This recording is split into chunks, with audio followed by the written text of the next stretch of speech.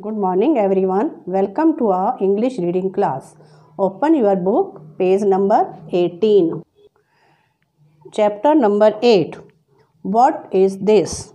Today we will read the new sentences with the help of what is this. What is this is used when asking a question about the things. So let's start.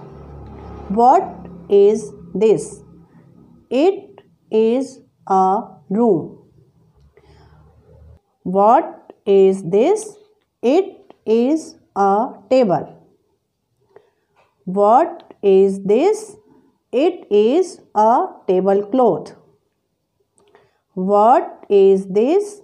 It is a glass. What is this? It is a spoon.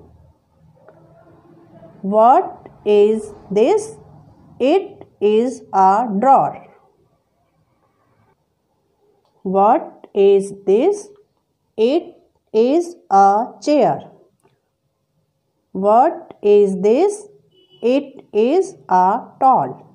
Repeat again. What is this? It is a room. What is this? It is a table. What is this? It is a tablecloth. What is this? It is a glass. What is this?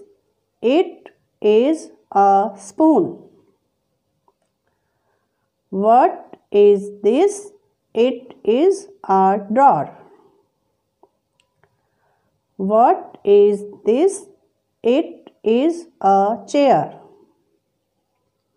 What is this? It is a towel. So children, you also practice reading at home. Thank you. Have a nice day.